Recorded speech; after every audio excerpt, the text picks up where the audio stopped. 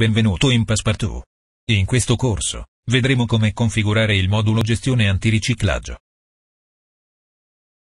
Per utilizzare questa procedura, occorre accedere all'anagrafica dell'azienda interessata, ed impostare il corretto gruppo SPRIX.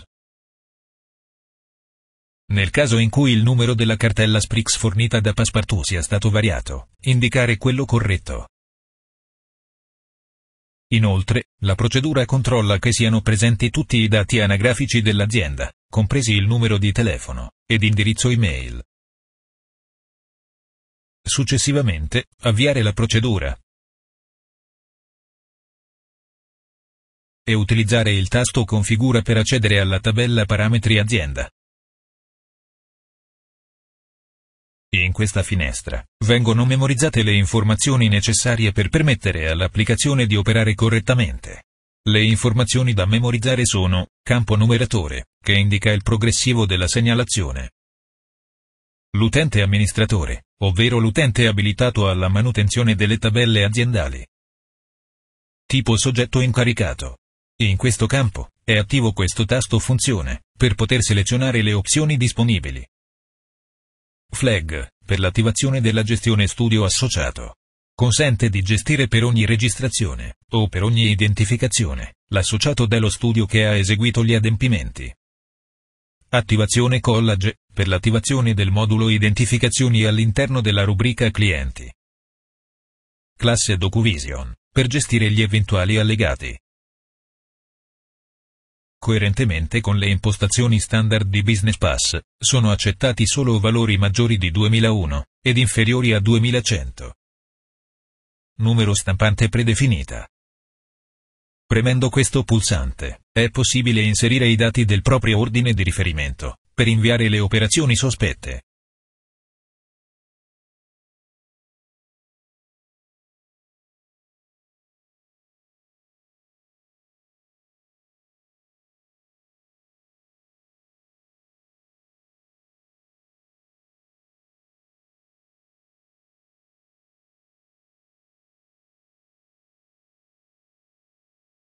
Dopo aver configurato l'applicazione, è necessario codificare l'elenco dei collaboratori dello studio abilitati all'uso del modulo antiriciclaggio, e delega per l'identificazione dei clienti e di titolari effettivi. Accedere quindi alla tabella Delegati. Premendo su questo pulsante, è possibile inserire tali soggetti. In questa finestra, sono presenti i campi, utente, Indica il codice utente del collaboratore abilitato all'accesso a Business Pass.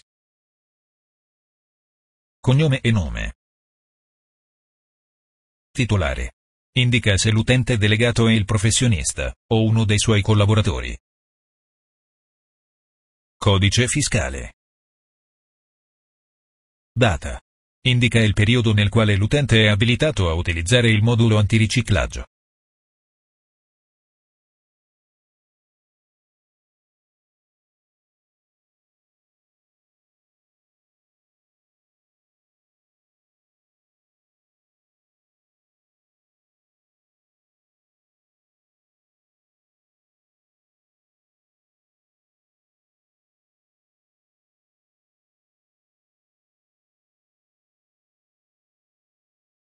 Gestione antiriciclaggio è un'applicazione Sprix Collage integrata con Passepartout, nata per soddisfare gli obblighi di gestione, prevenzione e contrasto al riciclaggio di denaro, beni o altre utilità. Questo modulo rappresenta un valido supporto per la conoscenza e l'applicazione della normativa antiriciclaggio, oltre che una guida nella predisposizione dell'archivio unico informatico. Il software è rivolto a tutti i liberi professionisti come avvocati, notai, dottori commercialisti ed esperti contabili, società di revisione, revisori contabili, consulenti del lavoro e periti commerciali. Gestione antiriciclaggio può essere utilizzato all'interno del medesimo software da più professionisti contestualmente. Per ogni azienda presente nell'installazione, è possibile caricare un archivio unico informatico.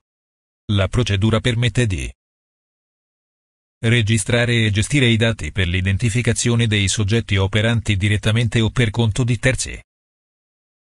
Integrare i dati anagrafici dai prodotti gestionali Passepartout. Registrare e conservare le informazioni nell'archivio unico informatico. Compilare la modulistica necessaria per le comunicazioni delle operazioni sospette. Redigere l'informativa preventiva sugli scopi e sulle modalità di trattamento dei dati personali ai fini dell'antiriciclaggio. Per agevolare la compilazione dei vari campi dell'archivio unico informatico, il prodotto propone delle tabelle precompilate con i dati necessari ai professionisti. Vediamo ora come procedere. Affinché il modulo gestione antiriciclaggio funzioni correttamente, occorre valorizzare i dati dell'azienda del professionista. Se l'azienda è di tipo persona fisica, devono essere valorizzati i dati del dichiarante, se l'azienda del professionista è una società, devono essere correttamente inseriti i dati del rappresentante legale. Prendiamo quest'ultima configurazione come esempio per questo corso.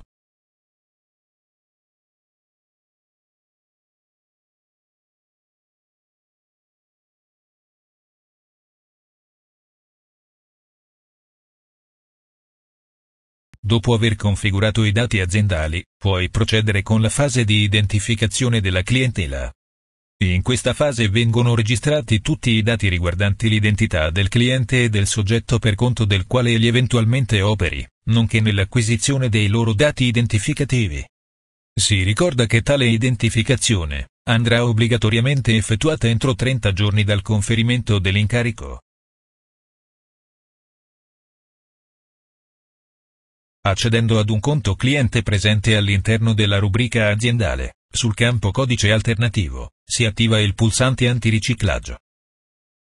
Al suo interno, vengono mostrate tutte le identificazioni compiute per lo specifico cliente. Da questa finestra, è possibile codificare i soggetti avente funzione di dichiarante, rappresentante legale, e titolare effettivo. Inseriamo, ad esempio, il soggetto dichiarante, indicando tutti i suoi dati anagrafici.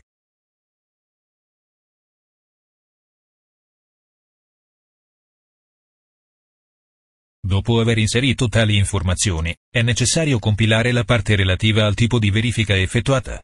Supponiamo quindi che l'identificazione sia eseguita direttamente dal professionista. Utilizzando una modalità di tipo ordinaria, Specifichiamo inoltre il tipo di legame che il dichiarante ha con l'azienda. Nel caso in cui il soggetto è una persona politicamente esposta, occorrerà inserire la corretta modalità di verifica, ovvero quella rafforzata. È necessario inoltre indicare lo stato attuale dell'identificazione. Avendo attivato in questa azienda la gestione degli studi associati, sarà fondamentale indicare per quale professionista dello studio è stata effettuata la verifica. Dopo aver compilato tutti i campi presenti nella videata, è fondamentale associare al dichiarante un livello di rischio. Si ricorda che, per i soggetti con funzione di rappresentante legale o titolare effettivo, tale inserimento non è necessario. Gestione antiriciclaggio, calcola in automatico il livello totale di rischio legato all'identificazione del dichiarante. Se si intende lasciare momentaneamente sospesa l'identificazione, è possibile porla in stato provvisorio. In questo caso, sarà sufficiente rientrare nella schermata per confermarla in stato definitivo.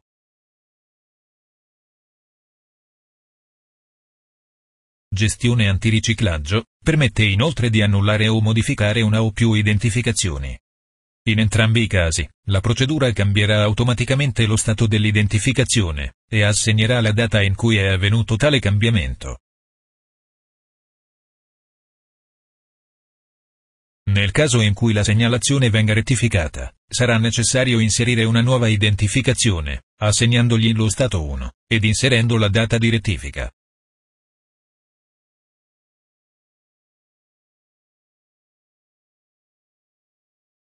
Da questa finestra, è necessario indicare il mandato che il cliente ha conferito al professionista. In particolare, va specificato il codice del cliente,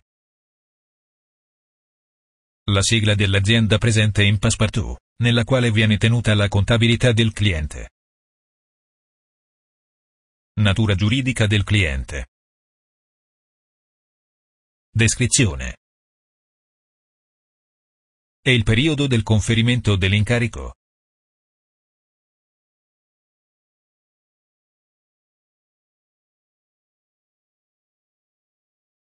Dopo aver identificato la propria clientela, è possibile inserire le operazioni da loro compiute nell'archivio unico informatico.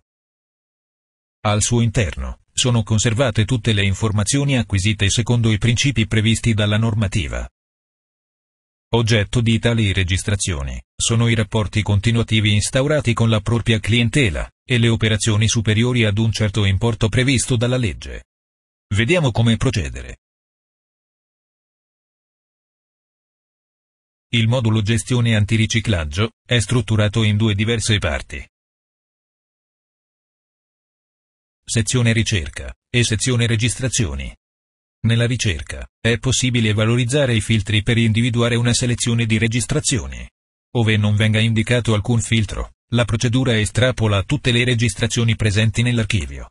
Confermando, vengono elencate tutte le registrazioni che rispondono ai filtri inseriti. Nella sezione delle registrazioni, vengono mostrate a video tutte le informazioni presenti all'interno della segnalazione, come codice, ovvero il numero progressivo generato automaticamente dal programma al salvataggio in definitivo. Data di inserimento. ITER. Che indica se la registrazione è in stato definitivo, provvisorio o annullato. Stato. Indica se la registrazione è nuova, sostitutiva di una precedente, o annullata. Prestazione eseguita. Esecuzione. Può assumere i valori, in corso, eseguita, o non eseguita. Tipo prestazione. Associato dello studio, visibile solo con il flag studio associato attivo. Codice cliente. Tipo mandato. Può assumere i valori sì, oppure no. Codice anomalia. Data di invio della registrazione. Rischio totale. Premendo su questo pulsante, è possibile inserire una nuova segnalazione. Su questo campo, indicarne lo stato. Nel caso in cui si sta inserendo una nuova registrazione, lasciare il codice 0. Se la registrazione ne sostituisce una già esistente, e quindi annullata per rettifica, allora mettere il codice 1, e specificare a fianco la data dell'annullamento.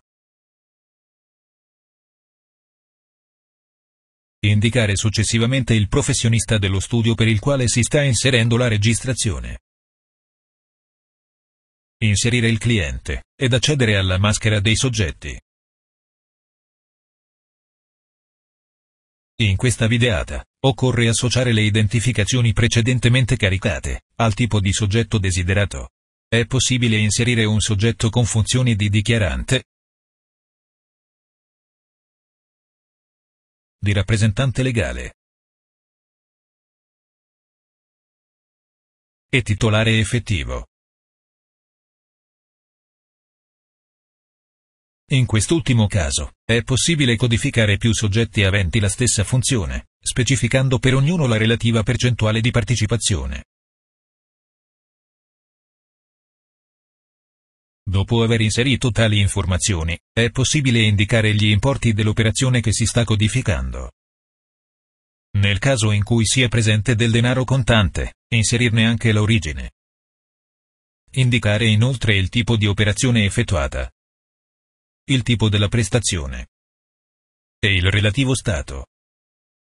Nel caso in cui la prestazione sia in corso o già eseguita, indicare a fianco anche la relativa data. Nel caso in cui si sta codificando una nuova segnalazione, sarà possibile inserire la tipologia di anomalia rilevata e la data di invio all'ente destinatario. Specificare inoltre il protocollo, ovvero il numero assegnato alla segnalazione al momento della comunicazione all'ente destinatario. È possibile inoltre inserire delle annotazioni relative alla registrazione. Tramite questo pulsante, inserire il rischio relativo all'operazione, assegnando a ciascuno di tali elementi un determinato punteggio in termini di minore o maggiore rischiosità.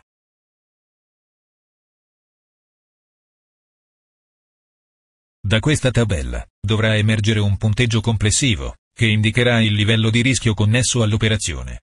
Alla conferma, il programma aggiornerà in automatico i valori di rischio totali, sommando i valori del rischio cliente e dell'operazione appena inserita.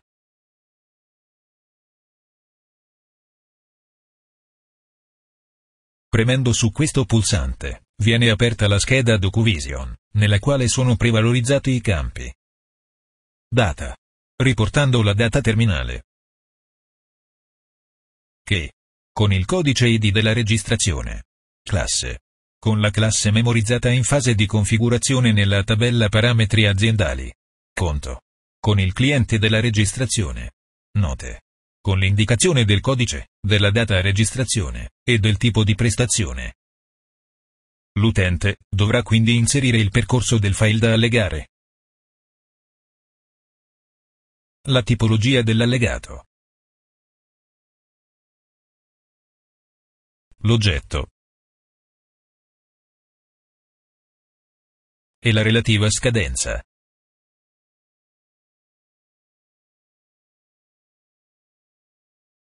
Dopo aver confermato, premendo su questo pulsante, sarà possibile visualizzare i riferimenti all'allegato inserito precedentemente. Per poter visualizzare il file, occorre accedere all'anagrafica cliente e utilizzare DocuVision.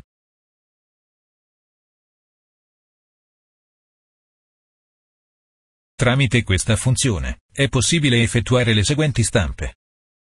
Identificazione, è finalizzata all'attestazione del professionista sull'adeguata verifica della clientela.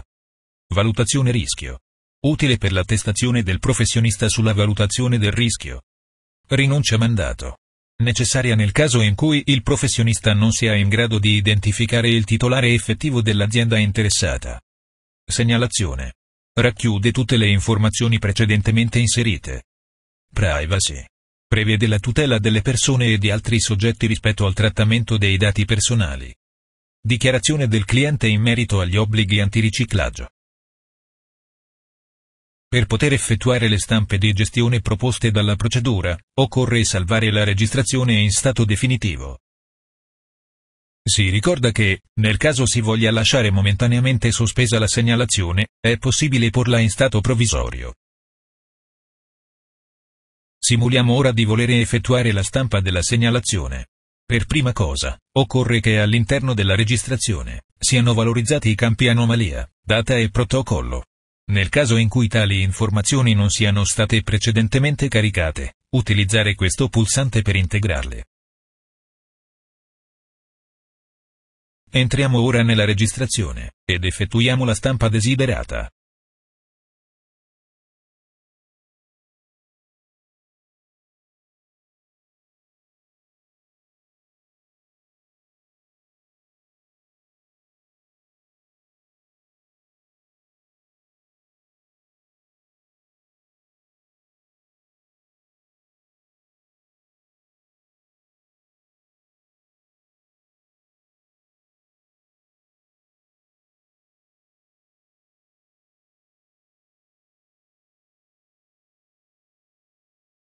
Gestione antiriciclaggio, fornisce inoltre la possibilità di esportare, o stampare, il registro della clientela.